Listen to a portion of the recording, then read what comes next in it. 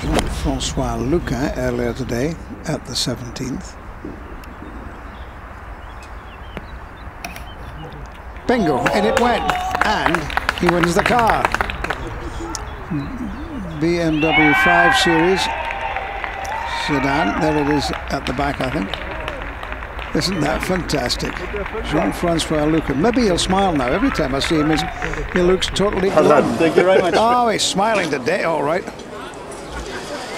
13th hole in one in the BMW, and there's the car that he'll be driving away. Well, I don't think he'll be driving it away because he's going to fly to the next two of them, I'm sure.